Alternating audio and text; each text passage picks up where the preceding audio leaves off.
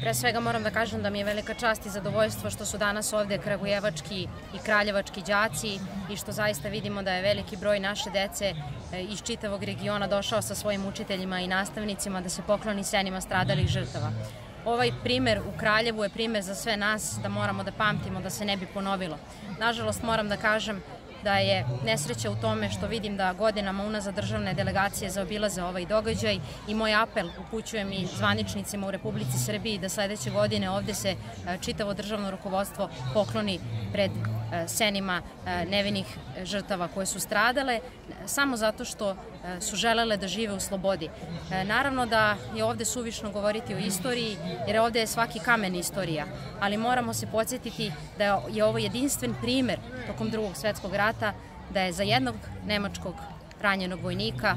stradalo 50 Srba, tačnije građana u tom trenutku Jugoslavije, Kraljevine, a da je za uh, jednog ubijenog ubijano 100, uh, našeg, 100 pripadnika našeg naroda. Uh, dakle, taj primer kontribucije koji je iz Wehrmachta